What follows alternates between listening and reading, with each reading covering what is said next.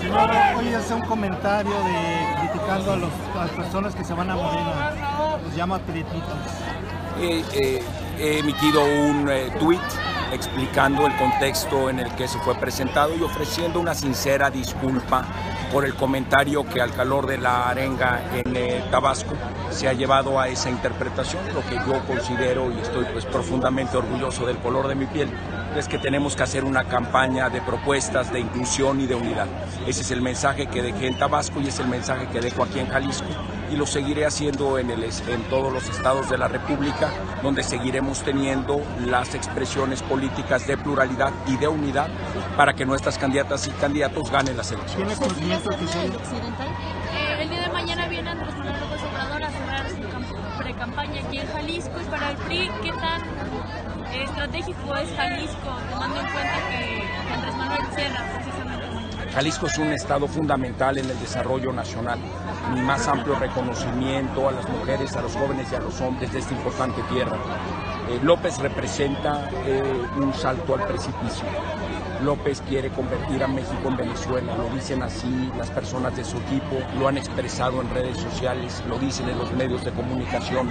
Ellos consideran en el partido político Morena que una revolución bolivariana es buena para México.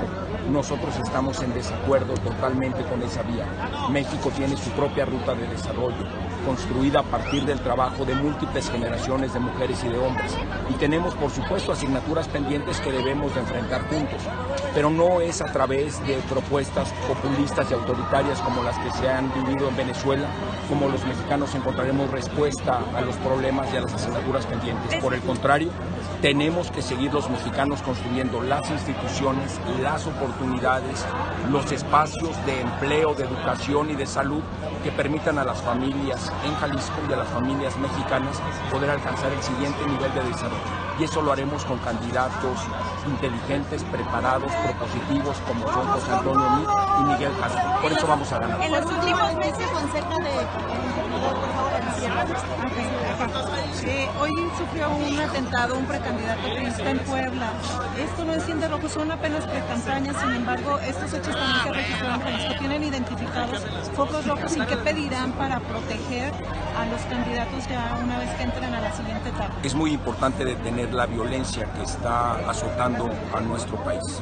Estamos todos trabajando y estamos todos haciendo un llamado a que la sociedad mexicana construya eh, del brazo de las autoridades, de las Fuerzas Armadas, un escenario de paz interna. Tenemos que recuperar la estabilidad y la certidumbre para que podamos disfrutar plenamente de nuestras libertades, no a la violencia, no a la violencia en contra de la mujer, no a la violencia en política, no a la violencia en contra de cualquier eh, expresión. Pero lo que tenemos que hacer es también señalar con toda puntualidad que López, el candidato del partido político Morena, ha mandado un mensaje a los delincuentes, a los narcotraficantes, proponiéndoles una amnistía.